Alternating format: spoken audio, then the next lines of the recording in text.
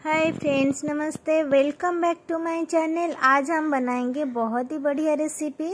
इसीलिए मैंने यहाँ पर तीन बैंगन ले लिया है। इसको बीच से इस तरह से चीरा थोड़ा सा कट कर देना है।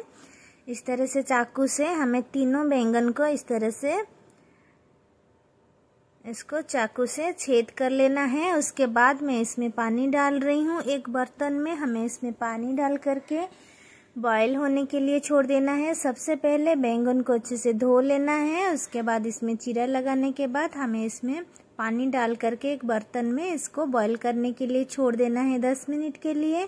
अभी देखिए, ये दस मिनट के बाद अंदर से देखिए बॉयल हो चुका है।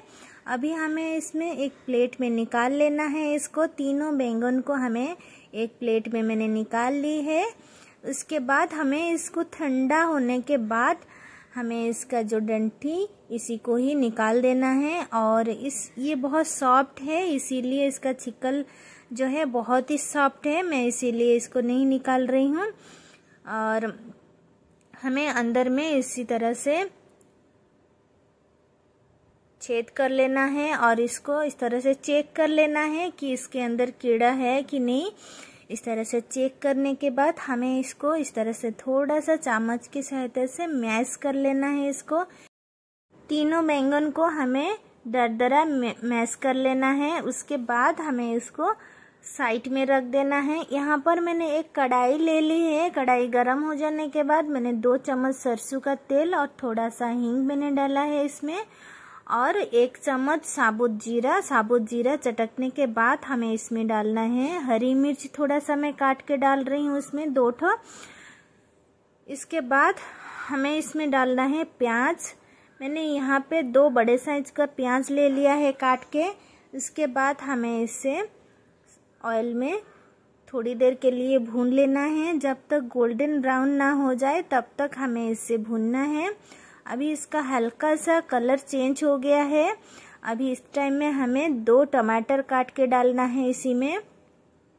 साथ ही में इसके साथ हमें इसे मिक्स कर लेना है बढ़िया से। अभी मैं साथ ही में डाल रही हूँ हल्दी पाउडर एक चम्मच, नमक स्वाद अनुसार, मिर्ची पाउडर एक चम्मच और धनिया पाउडर एक चम्मच। सारे चीज़ों को हमें मिक्स कर लेना है एक ही साथ।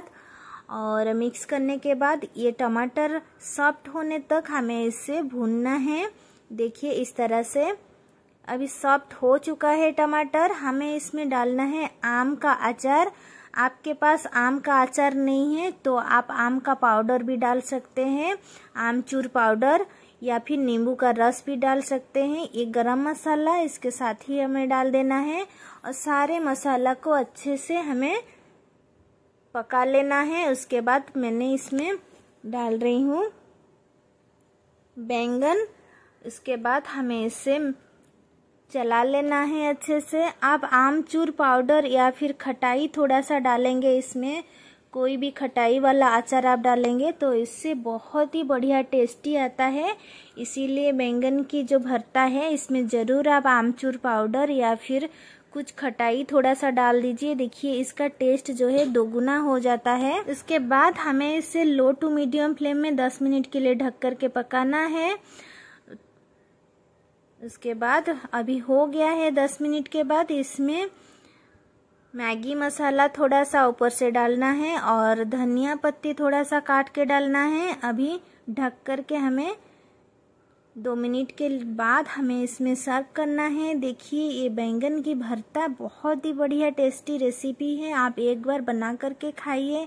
रोटी के साथ, चावल के साथ बहुत ही अच्छा लगता है फ्रेंड्स। आप एक बार ज़रूर बना करके खाइए इस तरह से। आपको बहुत ही पसंद आने वाला है ये रेसिपी। बैंगन की भरता आपको बहुत ही बढ़िया पसंद आने वाला है। एक बार आप ज़रूर से बना करके खाइए।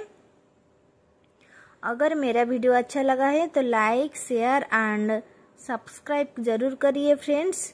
यहाँ पर रोटी के साथ आप खा सकते हैं, चावल के साथ खा सकते हैं। रोटी, दाल, चावल किसी के भी साथ आप खाएँगे ना, इसका टेस्ट दोगुना बढ़ जाता है। बहुत ही अच्छा लगता है। Thank you for watching